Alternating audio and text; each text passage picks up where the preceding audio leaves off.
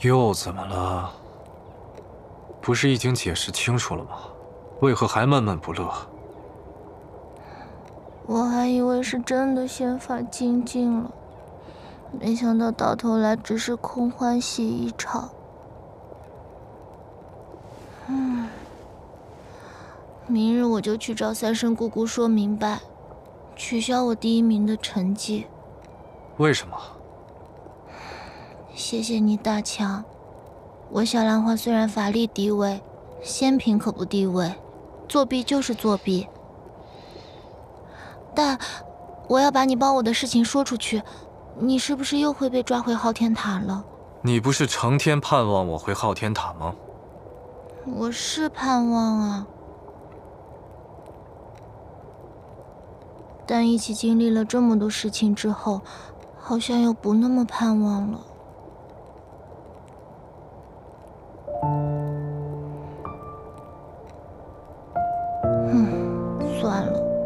你也说不明白，反正你以后不要对我那么好了。这又是为什么？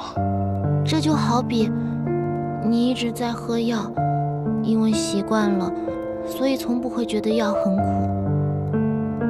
但突然有一天，你喝药的时候，有人给了你一颗糖，因为尝过了糖的滋味，以后喝药一样的药。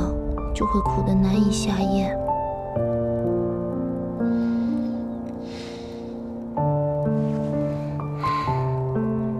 以前师傅不在，我一个人守着司明殿，所以从不觉得孤单。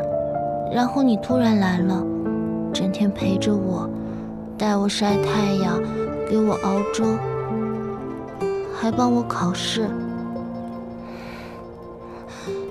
我害怕我会习惯的，等你走了之后，我就又还是一个人了。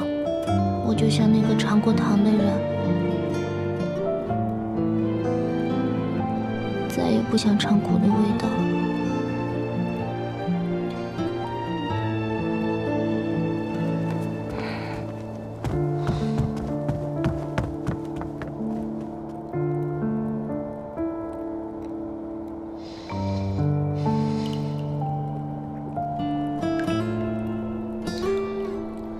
这些花妖佳期禅八说了些什么呀？为何本座一点也听不明白啊？